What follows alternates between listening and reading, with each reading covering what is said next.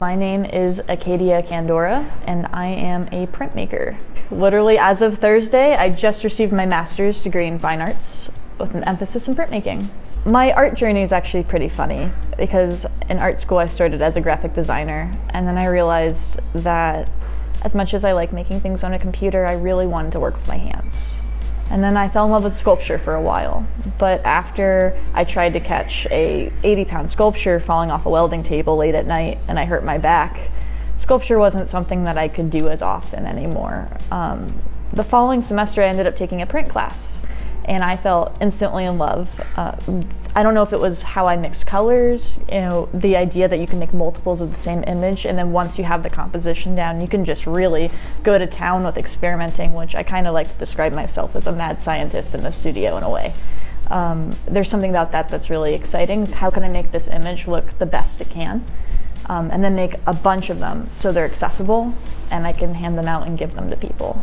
I was always a kid that was taking things apart, taping bottles together. My mom would tell me about all these weird bottle sculptures and how much I loved tape. But I also had access to a lot of Smithsonian stuff in high school, which was an incredible resource.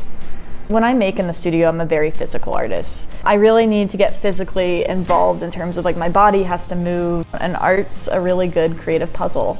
Most of my print work is relief printing, which is what my workshop's about and I'm drawn to relief. It's the oldest form of printmaking that originated in China, but Japan's the most known for the woodblock prints. Not only because of you know the process itself, there's a meditative nature to carving. Well, right now I'm, I'm really excited to be here at the Amazeum teaching this workshop.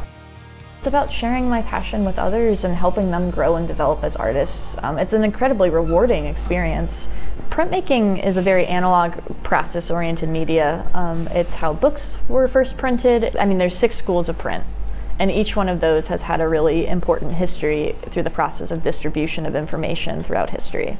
I think of screen printing, you know, in the late, and it was developed in the 60s. I think for posters, that's some of the big movements. There was also lithography, was how a lot of science journals got illustrated in the 1700s, 1800s. And woodblock printing, specifically, something that I did a lot of research on, was um, the first like bug specimen books were all woodcut prints.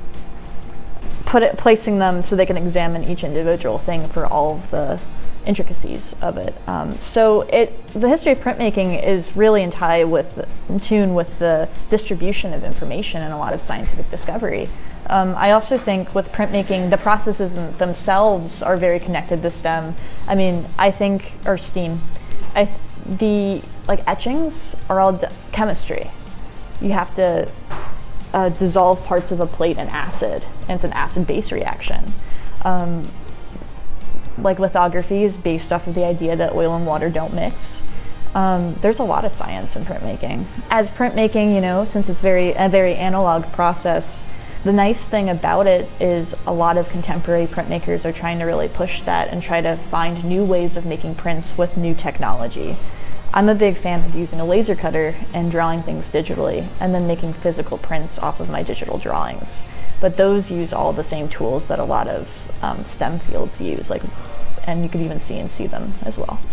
It's really about the reproducibility of images and having like a, we call it a matrix, but it's essentially like a plate. Like for our class, we're using linoleum, um, but it can be any sort of material, wood, metal, whatnot, and having an image on it and being able to transfer it onto a variety of materials like shirts. Um, multiple times. Um, I think of like publications and zines that are printed and then they can be distributed and people can share their stories or I don't know, make other people laugh. Um, and it's a very good way to make art that can be shared by a lot of people, and not just hung up in one person's home. Though it could also be, because, you know, they're individual things across an edition, typically.